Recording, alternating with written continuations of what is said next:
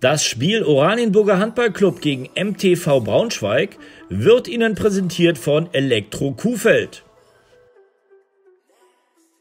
Wir sind inzwischen in der zweiten Saison äh, Sponsor beim OHC. Äh, wir freuen uns sehr, den, die Entwicklung, den Weg weiter mitzugehen.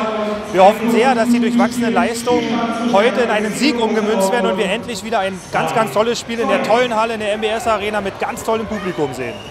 Ja, und die Hoffnungen wurden erhört. Ein tolles Spiel mit tollen Leistungen in einer mal wieder tollen, stimmungsvollen Halle. Großer Jubel nach dem Schlusspfiff. Der OHC endlich wieder Sieger.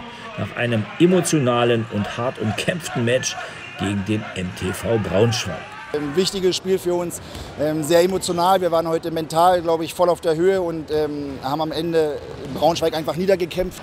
Nicht nur ein gutes Handballspiel gemacht, sondern, glaube ich, auch äh, das gezeigt, was dem OAC vielleicht auch ein bisschen in den letzten Spielen abhanden gekommen war, gerade in den Heimspielen.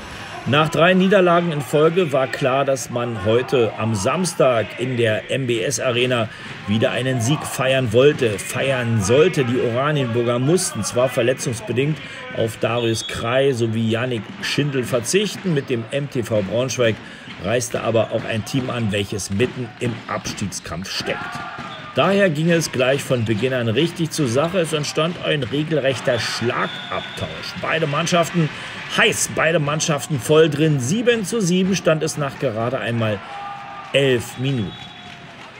Der OAC konnte sich von hier an das erste Mal mit drei Toren absetzen. Die Braunschweiger hingegen konnten diesen Vorsprung direkt im Anschluss wieder aufholen. Ein enges Match auf jeden Fall. Fünf Minuten vor der Halbzeitpause starteten die Oranienburger dann aber noch einmal einen ja, Schlussspurt. Zwei Tore durch Robin Spickers sowie ein großartiger Block und Tempogegenstoß von Janis Bohle stellten den alten drei Tore Abstand wieder her. So führte der OAC, der Oranienburger Handballclub, nach einer starken ersten Halbzeit 14 zu 11.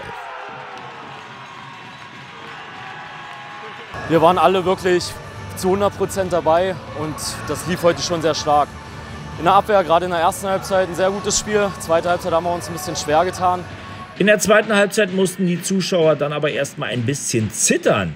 Die Nummer 10 der Gäste, Marco Caraula, erzielte allein in der zweiten Halbzeit neun Tore und brachte sein Team in der 43. Spielminute mit dem 19 zu 19 Ausgleichstreffer zurück in die Partie.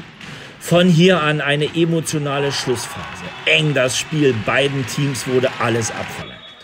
Verworfene 7 Meter, mehrere Auszeiten und eine bebende MBS-Arena. Die Zuschauer feuerten ihr Team noch einmal richtig an, feuerten sie nach vorne und so konnte der OAC kurz vor Schluss erneut mit drei Toren in Führung gehen. Am Ende hieß es 30 zu 28 für den OAC. 30 zu 28 für den Oranienburger Handballclub. Ein ganz wichtiger Sieg in einem ganz engen Match. Die kurze Durststrecke wurde überwunden und am Ende konnte ein Sieg gefeiert werden. Ich fand, wir haben in der zweiten Hälfte erst ein bisschen mit weniger Emotionen gespielt wie in der ersten Hälfte. Aber dann haben wir irgendwie gemerkt, heute geht was.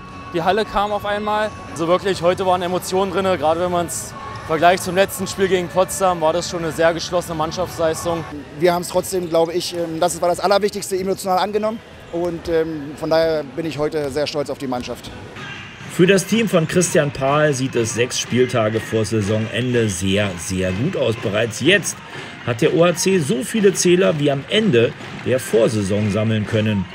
Am 30. März gibt es dann das nächste Heimspiel gegen die zweite Vertretung der SG Flensburg-Handewitt. Wir sind natürlich auch wieder mit dabei und hoffen natürlich auf ein ebenso spannendes, emotionales und enges Spiel und natürlich auch einen Sieg wie an diesem Wochenende. Das Spiel Oranienburger Handballclub gegen MTV Braunschweig wurde Ihnen präsentiert von Elektro Kuhfeld.